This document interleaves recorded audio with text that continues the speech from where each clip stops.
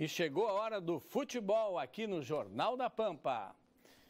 Chegou o dia, torcedor gremista. Daqui a pouco o Grêmio entra em campo pela partida de ida da final da Recopa Sul-Americana. É o começo da caminhada tricolor rumo ao primeiro título da temporada 2018.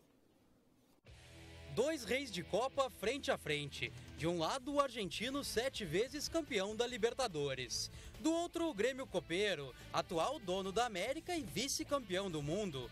Um duelo de gigantes do futebol sul-americano. Em disputa, o título da Recopa 2018. Sabemos que contra tem um adversário muito forte, muito grande, que já ganhou muitos títulos, tem o peso da camisa, é qualidade do adversário. Sabemos que vai ser um jogo difícil, mas a gente vai fazer de tudo para sair campeão. A verdade é que é um rival muito duro, um rival que está bem entrosado, é, tem bons jogadores, vem jogando junto há assim, um bom tempo. O último treino do Grêmio no CT do Boca Juniors contou com um trabalho de passes e muita movimentação.